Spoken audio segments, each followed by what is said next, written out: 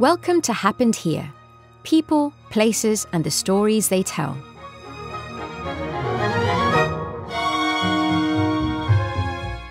I am Shama Rahman, host of episode 3 Artistic Covent Garden Dance, Dracula, and Pride and Prejudice.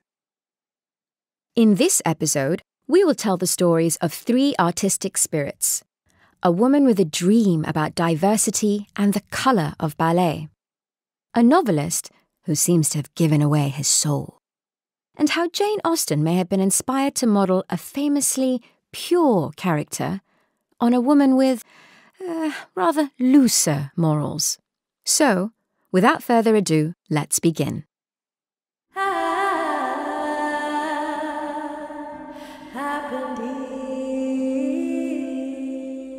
The Royal Opera House, Covent Garden.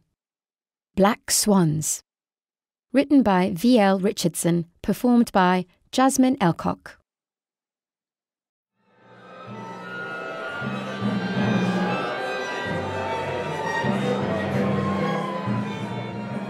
April 2009. The nervous tension is palpable backstage. A packed auditorium is enjoying a glittering occasion at the Royal Opera House, one of the most revered performance spaces on earth. Ballet Black, the company founded by Cassa Pancho, is about to take centre stage, aware that this is not your average audience. As the company gather their thoughts and go through their stretches, everyone knows they're about to dance into a global spotlight.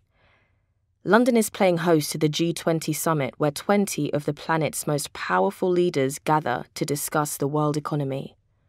Tonight's event is to celebrate and entertain the spouses of these heads of state. And, judging by the number of news stories about her, one spouse is overwhelmingly the most famous possibly more so than some of the political leaders themselves Michelle Obama. Michelle has been vocal in her support of women, particularly women of colour, gaining the confidence to strike out and make their mark in the world. Cassa Pancho's Ballet Black's performance will merit her special attention. Cassa trained in ballet at the Royal Academy of Dance Inspired by the Caribbean half of her mixed heritage, she chose black women working in ballet as the subject of her degree dissertation from Durham University. Cassa expected black ballerinas to be rare, but was stunned to find none. Not one. When she questioned this, the answers she heard stunned her. Black dancers had flat feet, their bottoms were too big. Their body shape was unsuitable for ballet, Black ballerinas in Swan Lake would look wrong.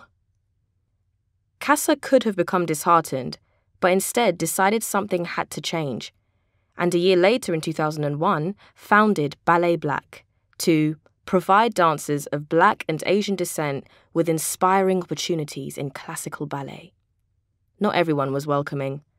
Some initial reviews were condescending, dismissing Ballet Black as a hard-working heritage troupe, the very definition of damning with faint praise. Others talked of the company doing ballet their way, code for a less sophisticated version of real ballet. Despite this, the company steadily gained respect. Confirmation of this came in 2003 when Deborah Bull, creative director of the contemporary arm of the Royal Opera House, invited the company to base itself in their Covent Garden complex. It was a significant moment. Cassa would use this new base to transform the ripples they had been making into waves. Their first season at the ROH's Linbury studio confirmed their growing status with glowing reviews. Ballet Black had arrived. For that heady night in 2009, Cassa commissioned award winning choreographer Will Tuckett to create a new piece. It did not disappoint. De Depouillement, an intricate neoclassical piece, demanded the highest technical and artistic standards. Later described as sorbet cool, it was a stellar success. That triumphant night saw a meeting of kindred spirits, Michelle Obama and Cassa Pancho. Both are natural leaders, have vision, high standards, and great people skills. Their purpose? To encourage people of colour to be successful is positive and determined. Commissioning Depouillement for such a high profile event encapsulates Cassa Pancho's artistic approach, daring yet respectful of tradition.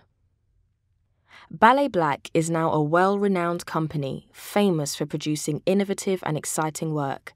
They are indeed doing ballet their way. And it has earned Cassa Pancho an MBE.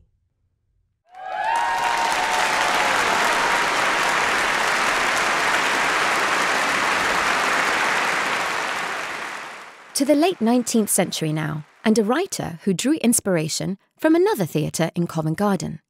And what better place to imagine desperate happenings and dark worlds than in the strange atmosphere of an empty theatre, the unexplained flap of a stage curtain, and the ill lit labyrinths backstage. The Lyceum Theatre, Wellington Street, Covent Garden. Theatre of Blood, a Gothic Dream. Written by Becky Stamp, performed by Stephen Fry.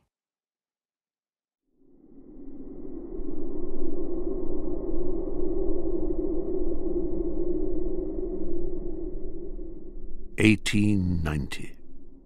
Winter. Night. A creature is forming in Bram Stoker's mind. He sits spellbound in the middle of the deserted balcony overhanging the stalls of the Lyceum Theatre, the space suspended now between the pumping blood and applause of the departed audience and the grave like yawn of the empty stalls. He stares at the red curtains, black now in the gloom, a giant cloak rising to enfold the abandoned auditorium. His breath hangs in the air as a solitary candle by his side drips its way to darkness. Dimly aware of the clock chiming midnight, he notes the witching hour. Rousing from his reverie, he picks his way through dark theatre corridors to his small office, candle throwing shadows that follow him down the walls, and not for the first time, Stoker can feel deep in the pump of his heart, that first wrenching encounter with the man who employs him now as his business manager. Obsessed, drained, he slumps in his office chair and sleeps. Fourteen years ago, in Stoker's hometown of Dublin, Henry Irving, the greatest actor of his generation, strode into Stoker's life in somewhat human form. Stoker had watched mesmerized as the charismatic man recited an epic poem about a murderer. The horrid thing pursues my soul. It stands before me now and he had burst into hysterical tears at the intensity of Irving's performance. Outwardly, Irving, Stoker's employer and by 1890 actor manager of the Lyceum, was every bit the archetypal Victorian gentleman. A striking figure in a long black coat, Irving towered above most, six foot two inches of presence, pale face framed by an upturned collar and curtained black hair. To scratch the surface, however, or to return that black gaze under those black eyebrows for a little too long, means to look right into the face of that thing that you feel hiding under your bed at night to be tethered to that thing through your waking and dreaming hours, to see in those dark eyes the unblinking stare of the undead. Stoker watches himself rise from his chair and stagger to the wash basin in his office, like a corpse rising from the grave, and sees himself staring into the cracked mirror, but in the glass there is no answering reflection. Stoker wakes with a start from that haunted hour between sleep and the beginning of day, having spent the whole night, again, at the Lyceum in his office chair. Splashing water on his face, his heart feels swollen with life as it thumps its steady rhythm against the corset of his rib cage. He might as well have reached into himself and pulled it out red and bloody before plonking it down on the box office stand when he signed himself away as Irving's guardian of this place. Replaying the memories in his mind, this absorption of one man's life in another, Stoker lets out a gasp, pulls a battered notebook from his pocket and puts shaky pen to paper. The dam, unstoppered, unstoppable, ideas flowing freely and inevitably as a rush of perinatal blood. I know what has happened to me here, he thinks, and the transformation is almost complete. I know what has been done to me vampire.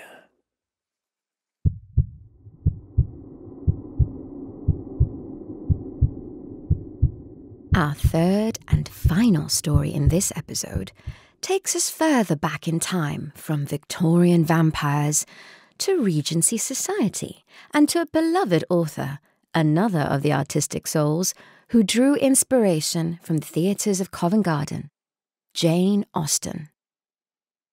The Austen, Maund and Tilson Bank at 10 Henrietta Street, Covent Garden. Jane Austen sees a portrait. Written by Sarah Fleming, performed by Kate Reid.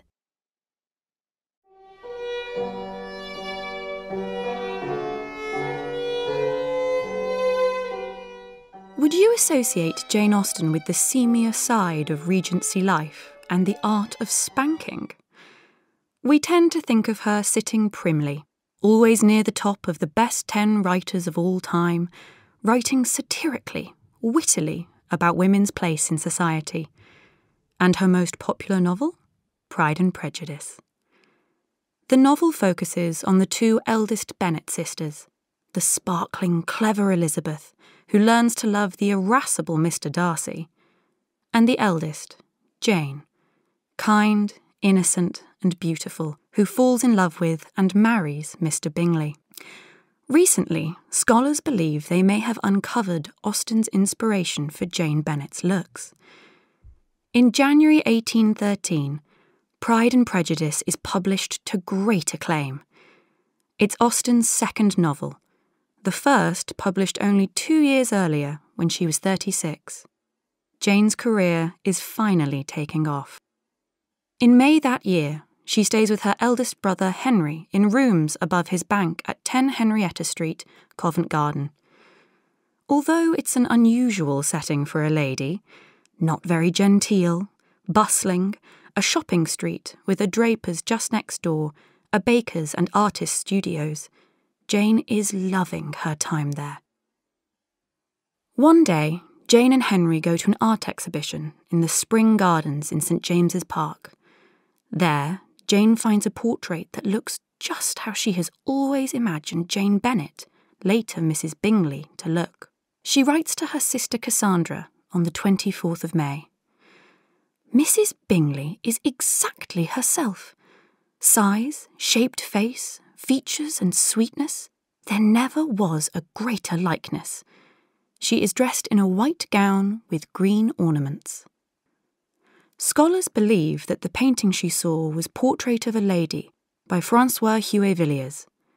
The painting itself is difficult to track down, but there is an etching copy of it made by the famous poet, painter, and printmaker William Blake. It looks exactly as Jane Austen described it. The portrait is of one Georgina Quentin. Here's the thing in 1811, when Austen was actually writing Pride and Prejudice, she had also then visited her brother in Covent Garden, and at that time, Georgina Quentin was also living in Henrietta Street with her uncle, a button maker. Had Jane and Georgina passed by in the street, or even met back then? Had Georgina inspired the look for one of Austen's heroines? Maybe. There is a delicious plot twist, however. By 1813, Georgina's husband was abroad, fighting with the Duke of Wellington against Napoleon. Georgina had found a way to support herself during his absence. She'd become a specialised courtesan, and in that spring, she became a mistress of the Prince Regent, later King George IV. Prince George loved Austen's work and bought possibly the very first copy of her first novel, Sense and Sensibility. Thereafter, he bought multiple copies of her works to have them at all his residences. So, after seeing the portrait, is Jane's comment in her letter to Cassandra a sisterly in joke? Does Jane know that Georgina has a reputation for providing spanking services and think it funny to suggest that virginal Jane Bennet is modelled on a courtesan? Or maybe Jane knows that her most famous fan, the Regent himself, is interested in Georgina and is gently mocking him. It is a truth universally acknowledged that we shall probably never know.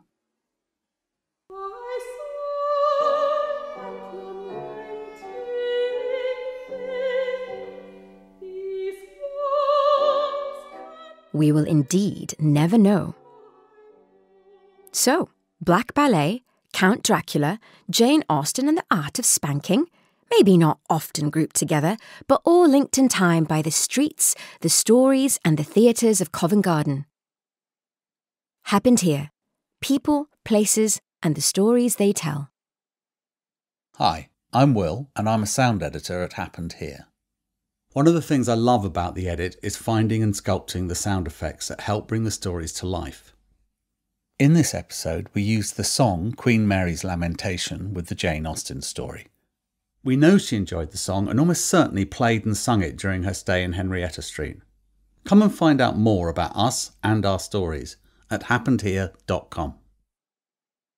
But for now, everybody involved in Happened Here the writers, the hosts, the performers, Thanks you for listening. Do come again, we've got lots more stories to tell.